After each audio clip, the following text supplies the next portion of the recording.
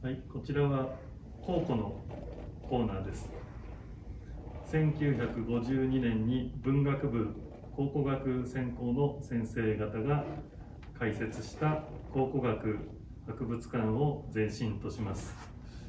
明治大学考古学研究室の、まあ、発掘調査の成果の数々を、えー、展示しています。第二次世界大戦後になって科学的な歴史学が求められるようになると考古学の発掘調査活動が、まあ、大変活性化します、まあ、特にあのこちらの群馬県の岩宿遺跡の発掘というのは、まあ、日本にも旧石器文化というものが存在したということを、まあ、証明したという点で、えー、意義のある発掘となりました、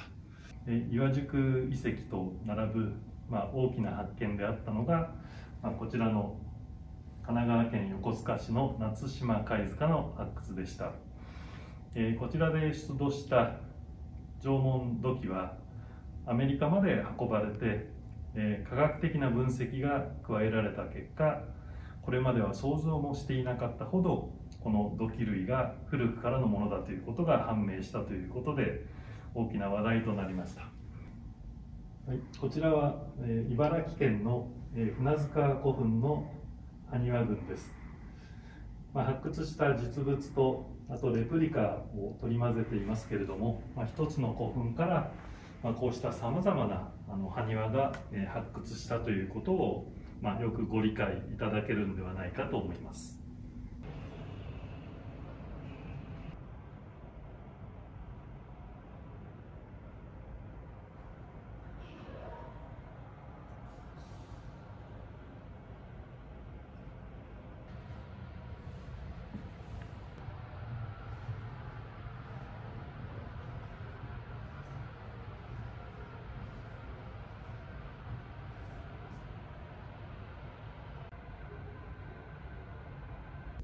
明治大学は社会に広く開かれた大学を目指しています。